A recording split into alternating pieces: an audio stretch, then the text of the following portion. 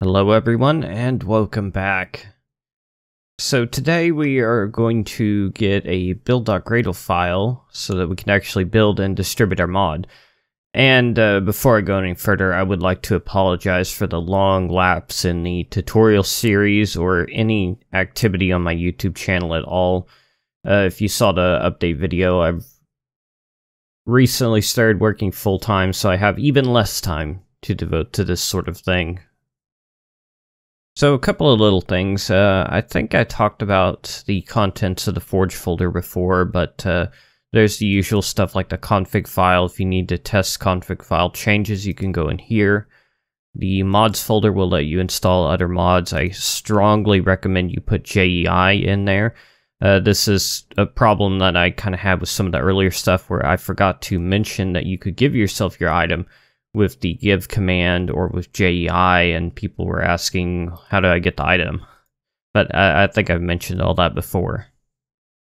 Finally, if you want to run a debug server, or whatever you want to call it, you have to open the eula.txt and change the false here to true, like I've done.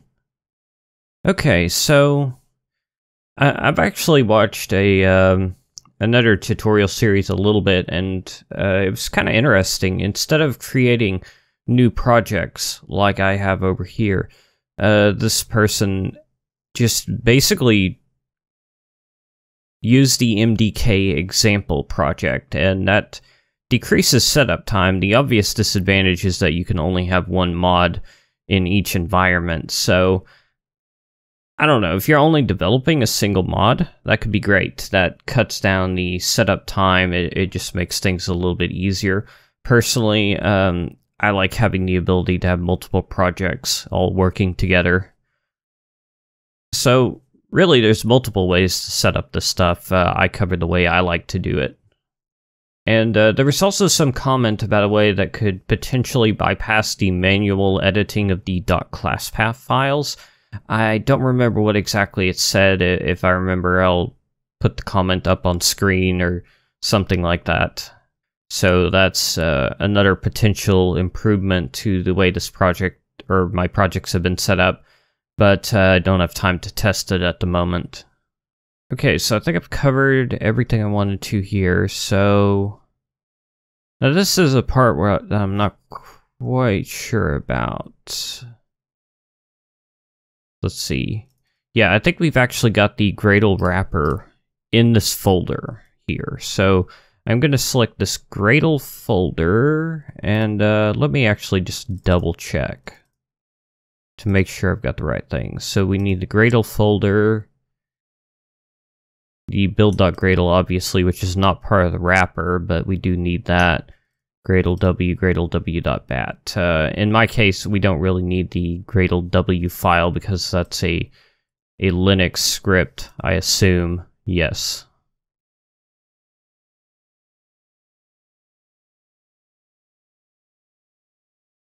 But let's go ahead and try copying these from the Forge folder and see if they work.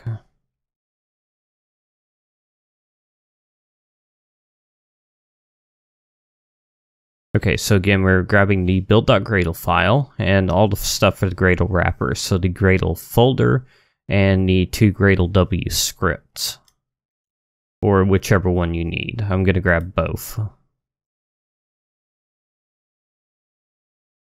So let's go into our mods folder and just paste them right here. So now we need to modify our build.gradle file with a few things. And again, I'm not an expert on Gradle, but uh, I know enough to make things work. And uh, here's actually the Gradle file from Gems. It's a bit longer than the default one here, I think. Yeah, because I've got dependencies and stuff like that. So I encourage you to go look through the Gradle files of other mods. That's what I did. But uh, we'll just try to do something very basic here. And if you're wondering how to do dependencies, usually the mods will tell you how to do that. I mean, like JEI, I think it has instructions on their GitHub or somewhere. It doesn't take long to find. Okay, so don't touch any of that. Alright, so here we've got the version of our mod. Um, you, you can read about version numbering somewhere. I normally, whenever a mod's in beta, I'll do like 0.1.0 and increment this number whenever there's a relatively minor change. Let me see if there's a way I can increase the text size here. Actually, better yet, maybe I should just edit this in Eclipse. Okay, just drag this here. There we go, so it's all nice and big. I know, I know, I've gotten lots of complaints about the text size. You don't have to remind me. Got a 1440p monitor, so sue me. Okay, so we'll go ahead and just do 1.0.0, and as I was saying, I like to change this number whenever there's a minor change, like an, a new version that's being released. This one whenever there's a more significant change, but uh, not compatibility breaking. And this one whenever there's a compatibility breaking change, aside from the transitioning to beta to release. So, for example, most of my mods are 1 point something. Gems is 2 point something right now because it had compatibility breaking changes in 2.0. So this is going to be basically the package that we had for our mod. So mine was like this. And finally, we've got our mod ID, and I also put the version number on this. And this doesn't have to match your mod ID exactly, and in fact I'm going to use a capital letter. The source compatibility line, we can change this if we need the mod to compile with something higher than Java 6. So right now it's set to 1.6, that means Java 6. If you needed the features of Java 8, you can change that to 1.8. Actually, I've never seen this compiled Java block before. I guess you would need to change that as well? Okay. But yeah, the, the build script from Gems is actually a bit different. It does that. I'm not sure what the difference between the two is. Okay, so if you copied your build.gradle from your Forge directory just now, the Minecraft version will be correct. The run directory, I'm not sure about it. Gems, that's been changed to Eclipse. We'll go ahead and leave that for now. The mappings again should be correct because I just copied them from the Forge directory. And I believe that's all we need to change here. So I believe I've already added the mcmod.info file that again goes in resources and looks a little something like this. Let's see, yeah, I can increase the text size like that. Is there an easy way to switch that back? No. Maybe. Probably. I don't know the shortcut. Okay, so let's try building this mod. So in this directory where our build.gradle is, let's go ahead and open a command prompt window or terminal or whatever shell you you have for your operating system. And we're going to do Gradle W build. And with any luck, this should work. So it's going to create a new folder.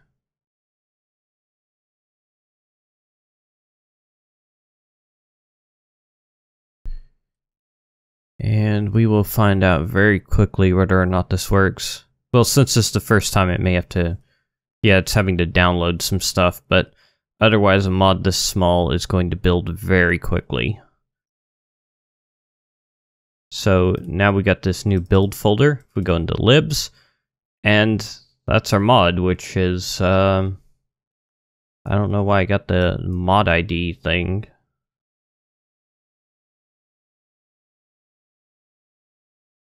I know I changed it right here. Okay, apparently editing Maybe I just didn't save. Okay, let's try this again. One more time.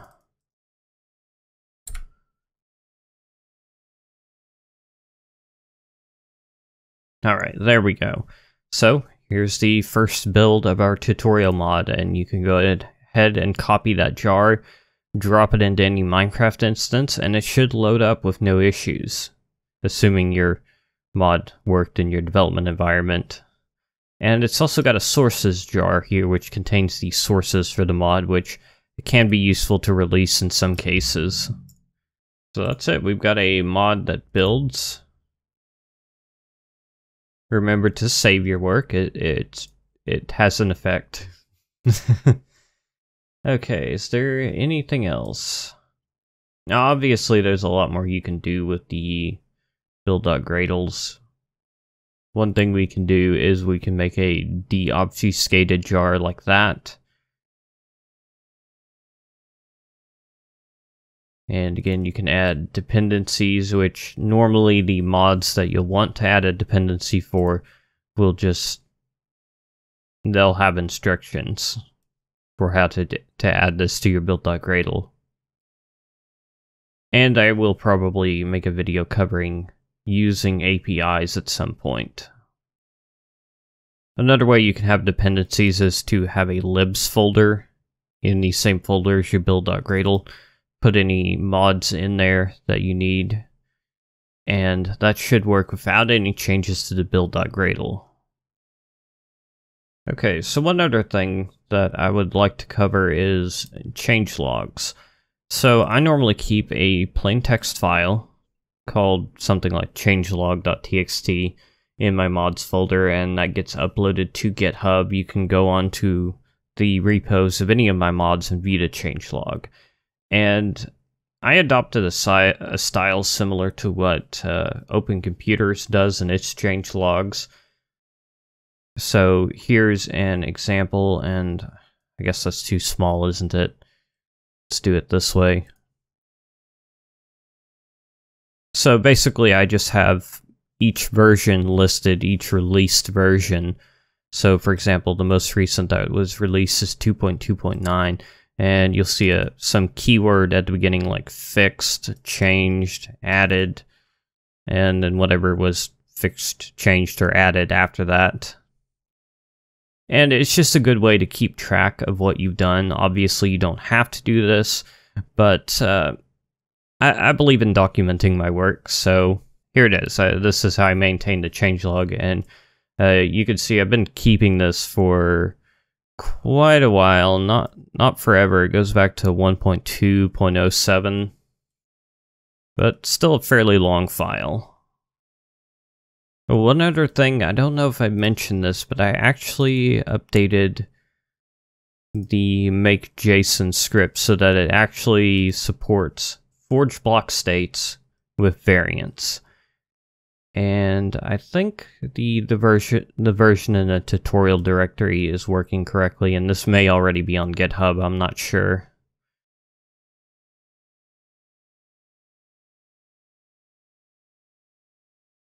But uh, we will get to blocks with metadata probably soon. I think I'm going to do items with metadata next. I know I I said I would do a tile entity soon, but that's proving to be a bit too much of a workload for me at the moment. So I'm going to do a couple of things that I, I know very well. So that's all for this video, probably a bit on the short side compared to the others, but that's not a bad thing. So thank you for watching, and I'll see you on the next one.